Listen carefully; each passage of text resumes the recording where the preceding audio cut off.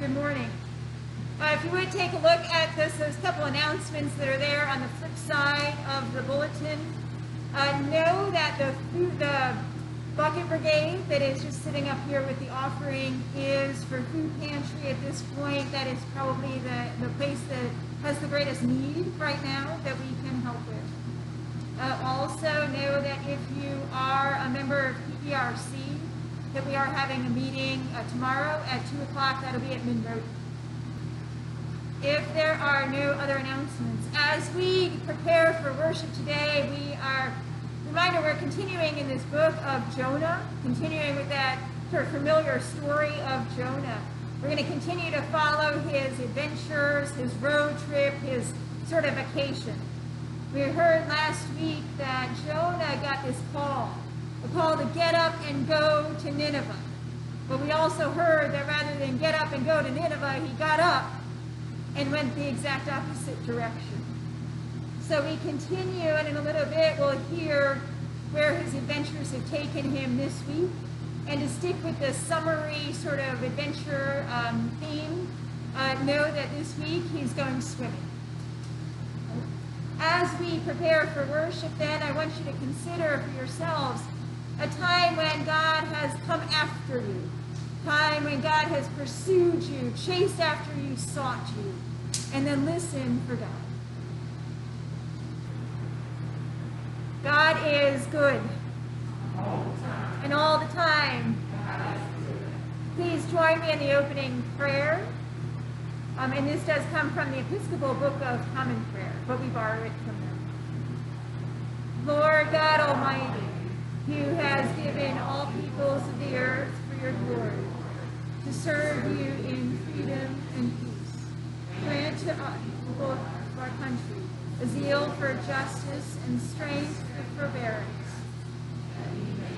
to your liberty, in accordance with your gracious will, through Jesus Christ our Lord, who lives and reigns with you and the Holy Spirit, one God forever and ever. Amen. Um, the hymn this morning is number 428, and I'll remind you, um, we remain seated, um, but also to use inside voices as you're singing.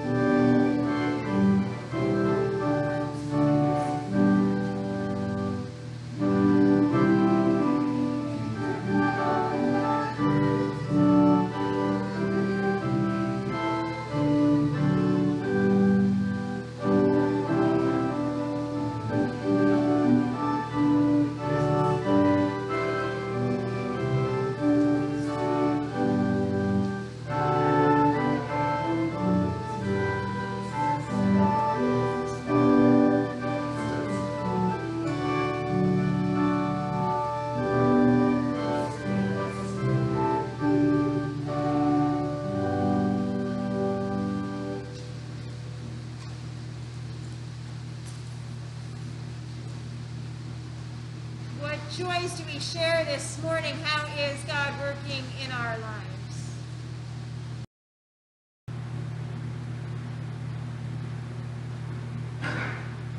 God, we do. Thank you for the privilege of being here this morning, of being in your presence. Whether here in this church or other places as we worship you, we know that we stand in your presence. When we are gathered together, even remotely, as your church, as your people, we know that you are present with us. God, we thank you for that. We praise you for that. God, we ask you to be with those who are in need this morning, whether it is for physical healing, emotional healing, whether they need help financially, whether they need help just in whatever situation is lying before them. God, we lift you, those who need you, to need to know you, need to know your presence. God, we, we lift this nation as it seems that we are in such turmoil for so many reasons. God, we just ask your hand of peace, your hand of wisdom for all of us.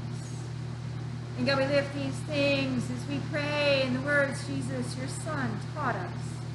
Our Father, who art in heaven, hallowed be thy name. Thy kingdom come, thy will be done, on earth as it is in heaven. Give us this day our daily bread. Forgive us our trespasses as we forgive those who trespass against us.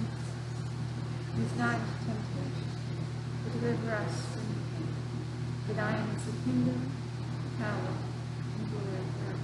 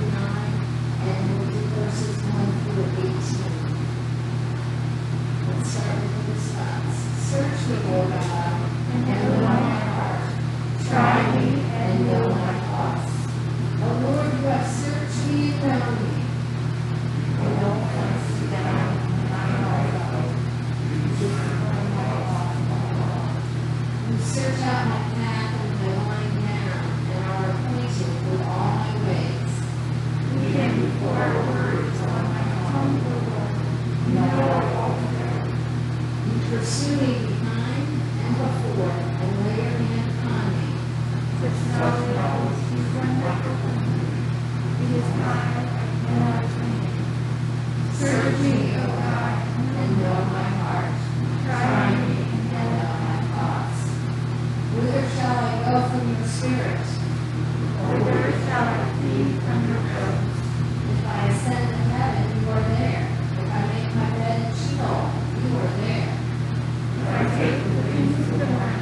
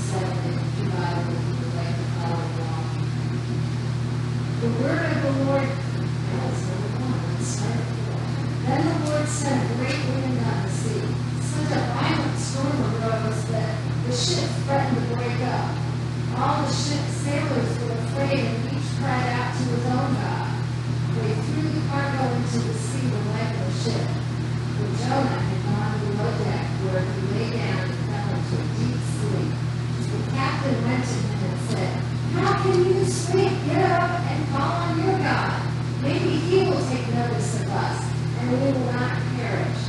The sailors said to each other,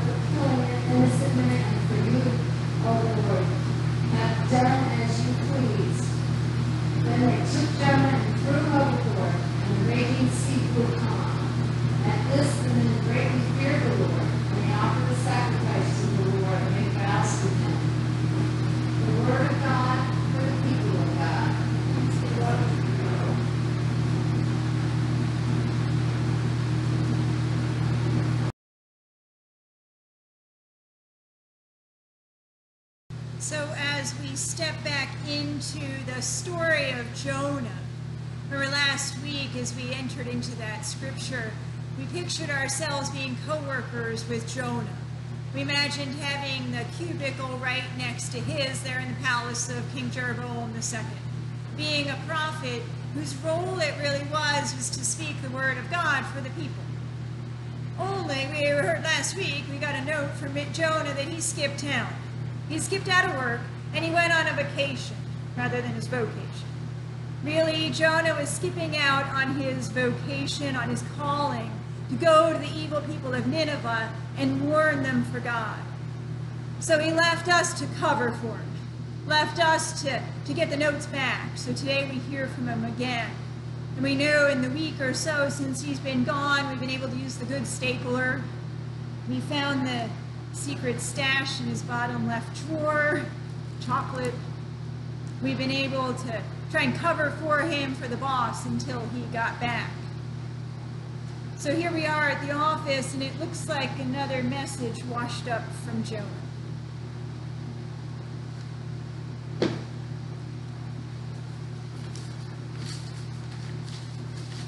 It's on stationery from the ship, the SS Joppa. And it says, Hey, it's Jonah. It's a good thing he writes big. hey, it's Jonah. Just wanted someone to know what happened to me. I made it to Joppa. Got aboard a ship to Target, to to Jehoshaphat, Jehoshaphat, to Tar to Tarshish. Sorry, my handwriting is all messy. I had to write. It's hard to write with our ship being tossed around by the storm. Everyone is freaking out, throwing stuff overboard, panicking, praying to their gods as if that would help. But, oh, but they found out it's my fault, and I told them to throw me in. Nice folks, though, they don't want to, but they're gonna have to. I'm gonna have to take a dive. Funny, somehow I ended up preaching to the Gentile crowd anyway. At least it wasn't the Ninevites because I'd rather drown. P.S. The stapler on my desk is really yours. And oh, since I'm not coming back, you might as well eat the chocolate in my bottom left drawer.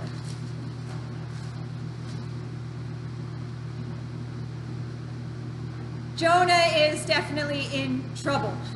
He ran away, and now he's paying the price. God told him to get up and go to Nineveh. Get up and go to Nineveh. And Jonah did, in fact, get up and go.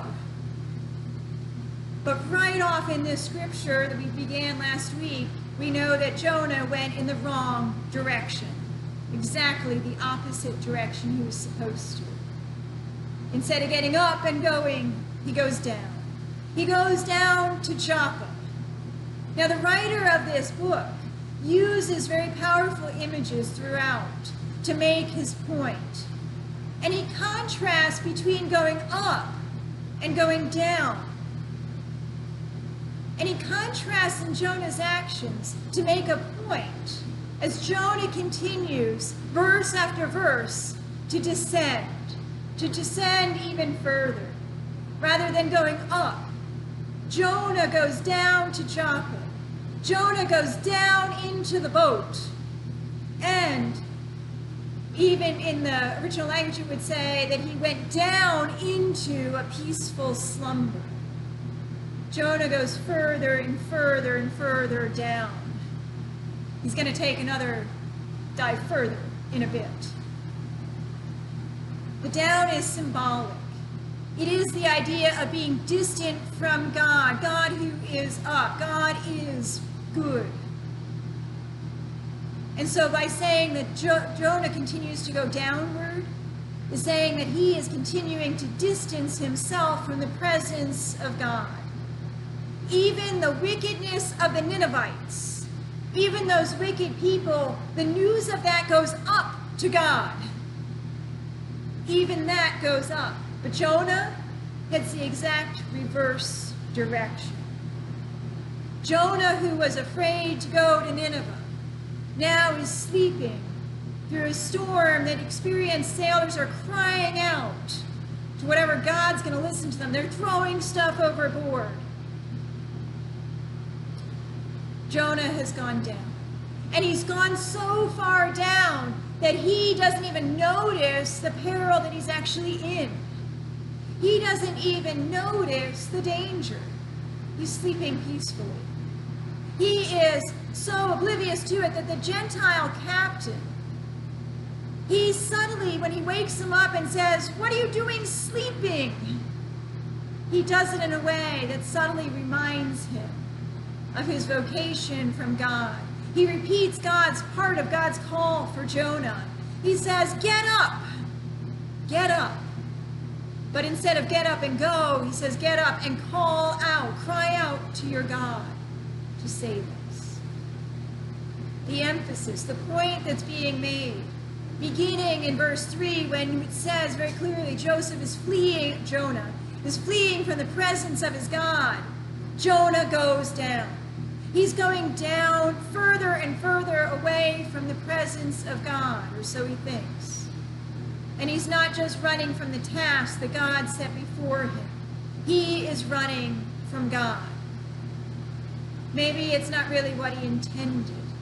He tells the sailors that he still worships God, he still fears God, he hasn't stopped believing in God. He wasn't trying to abandon his faith. He was just trying to abandon his post. He was trying to abandon that task that God had set for him. He was trying to escape the attention of God, hoping that God would call on that co-worker perhaps instead, some other prophet. Hey, what about Elijah? Jeremiah instead. Call on someone else. But Jonah's downward spiral makes it very clear that we cannot turn away from God's purpose for us without turning away from God. We can't turn away from what God has intended for us without turning our backs on God. We think, but just how far is Jonah willing to take this turning? How far is he willing to go to escape God? Now imagine Imagine you don't know what the next verse is in the story.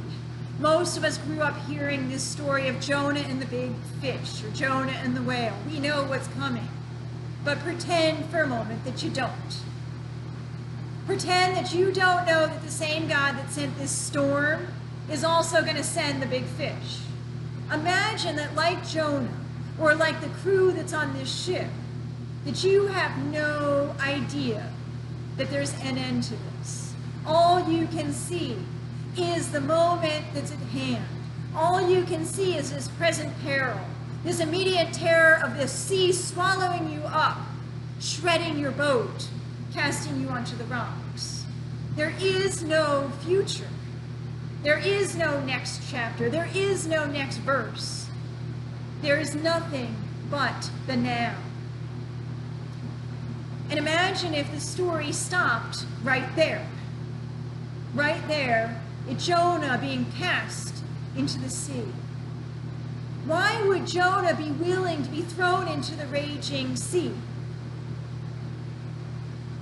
He must have known, he must have been aware that he would have drowned there. Now, it's often interpreted that maybe Jonah knew he would be saved. I don't know that he did. It was pretty scary. It thought maybe Jonah was being repentant. He was so sorry for having turned away from God that he was trying to redeem himself, make good of it. Only Jonah doesn't really repent. He doesn't turn to God and say, Sorry, I'll go to Nineveh now. Instead, he takes the way out. He doesn't turn back to his purpose. He continues to abandon God and, in fact, go even further down into the depths of the sea. He's still leaving the presence of God, as if because God found him, he's going to try and go further away yet. Sometimes we interpret this as Jonah was really being the hero, that he was willing to take one for the team. He was willing to sacrifice his own self so that the others on the ship could survive the storm. The sea would come. Maybe he was. Or maybe, really, Jonah is just taking a dive. Now, do you know what that term means?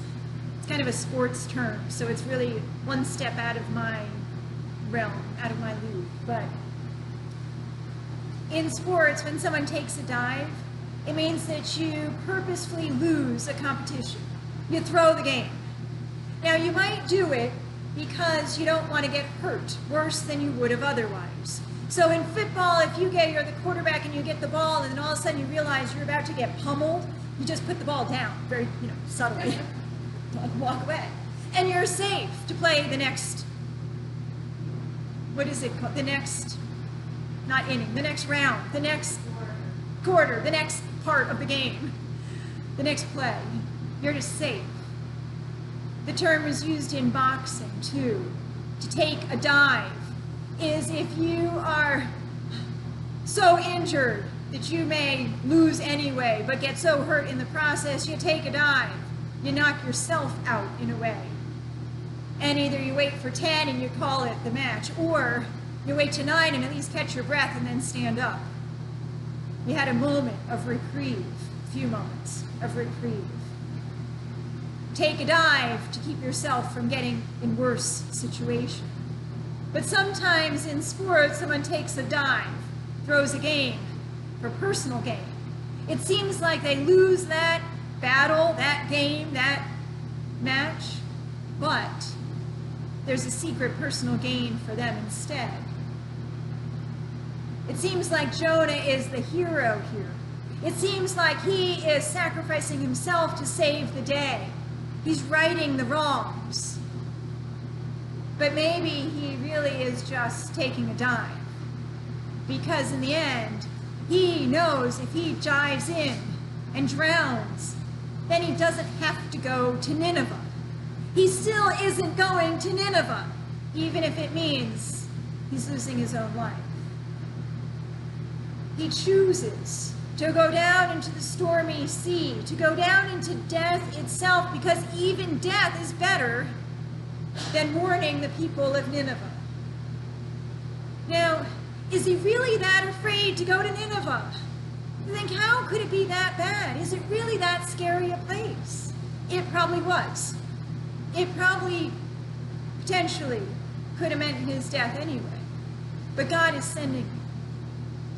This is a case where the journey is scarier than the destination, really, becomes scarier.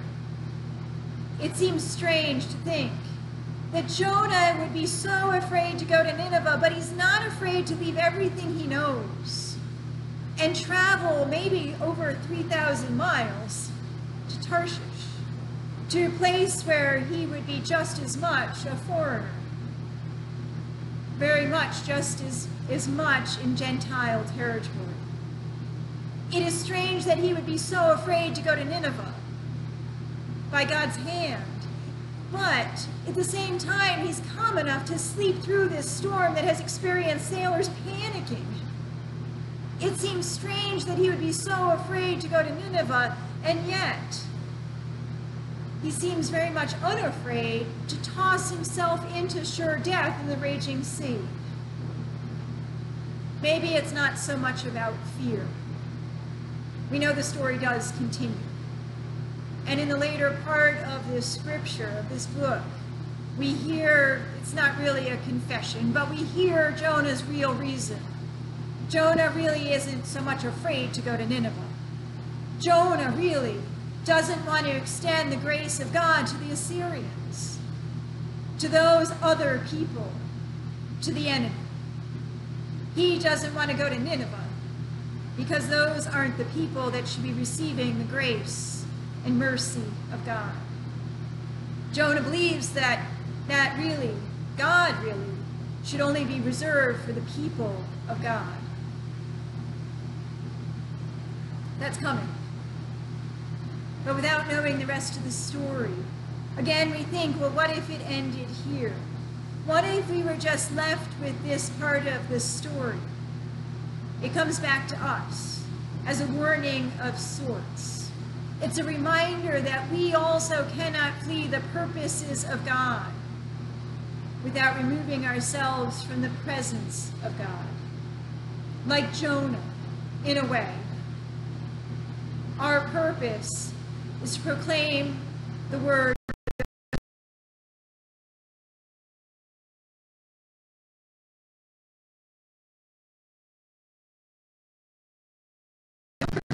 but also those who bring the Word of God, the very living Word of God, to those who don't know it yet. This story is a warning for us also, absolutely. I think, all right, so within that then, even at the point that we don't know about the fish, where do we see the grace of God in this? Where do we see beyond the warning? We hear that Jonah even as he is turning away from God, still believes in God. He still fears God. He still worships God. And because of that, because he is still proclaiming God even without trying, God works God's purposes in spite of him. Jonah, even amid his refusal to go to the Ninevites, to the Gentiles, ends up still proclaiming God's word to the Gentiles even as he plunges into the sea. As the sea grows calm, as the storm stops, the folks that are left behind on the ship now also worship God because they've seen the power of the God, the God of sea and dry land. And it not just one of those many gods they were crying out to, but the God and they begin to vow sacrifice and worship to the God. For us too, God is going to work with us. God is going to work through us. And God is even going to work in spite of us if God has to, to accomplish God's purpose. But that's not permission. It's not permission to flee from God's plan for us. It's not got permission to turn our backs on God's command to share the good news with others. It's not permission to go down away from God rather than up into the world that needs to hear about him. It's not permission to separate ourselves from God's purpose, plunging deeper and deeper away. We know that God will still accomplish his plan for the world, but we don't want to be the ones left drowning in death because we didn't fulfill his plan. So, what if? What if the story just ended there, even though we know it doesn't? We don't have to worry about that quite yet. We know the story didn't end with Jonah being plunged into the sea. We know it didn't even end at the end of his book in Scripture. The story didn't end there. We know there's much more to the story that becomes our story. We know our story also doesn't end in death. We know that we don't need to try and redeem ourselves out of the death that we're throwing ourselves into. It's not in our own hands. Jesus already did that for us. We have a Savior that willingly took one for the team. Now, just for fun, that idea of pretending that we are co workers with Jonah, minding the desk while he's gone, using the good stapler now that he's gone, eating the chocolate now that he's gone. It's not really just for fun to pretend that we're co workers with Jonah. We really are co workers with Jonah. We are fellow prophets of Jonah's. We also, all of us, are called to be prophets. We're given a vocation, a calling. Even if we're following Jonah's vacation trip vicariously, we don't receive his vocation vicariously. We are those who are called to speak the word of God and to bring that living word into the world around us, all of the world. And maybe because of that, rather than sticking the good news and stashing it away in the bottom drawer where no one really has access to it until after we're gone, we need to make sure that that's shared. Maybe rather than taking a dive, we need to make sure that instead we get up